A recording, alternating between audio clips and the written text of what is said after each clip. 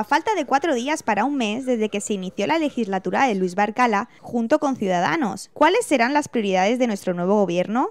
El alcalde en lo primero que hizo hincapié fue en la necesidad de solucionar la problemática limpieza de la ciudad. ¿Pero qué piensan los ciudadanos sobre los cambios que deberían realizarse desde el ayuntamiento?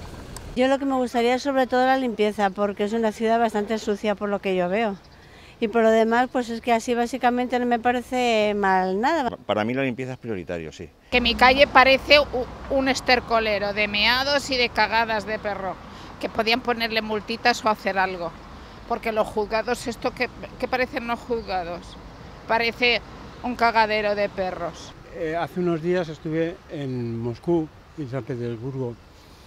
Entonces los, los vehículos de limpieza limpiaban se iban, pasaban por, por, la calzada, pero salía oblicuamente el agua con fuerza para limpiar las aceras.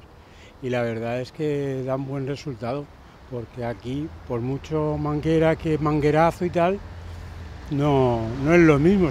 Otros no le dan tanta importancia a la limpieza, sino a la mejora de las instalaciones públicas de la ciudad o a un aumento en las ayudas en educación por ejemplo, la puerta está del, puerto, lo del suelo, que es de madera, está todo roto.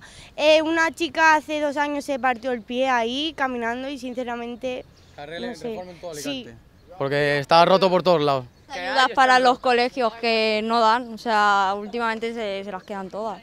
Por otro lado, otros solo piden estar... Alegres y no estar cohibidos, estar, no sé, tristes. Aún no conocemos las modificaciones que podrá recibir Alicante, pero lo que sí se sabe es lo que a la gente le gustaría que se realizara. Ojalá que el nuevo gobierno haga pues cosas buenas por esta, por esta, por esta ciudad.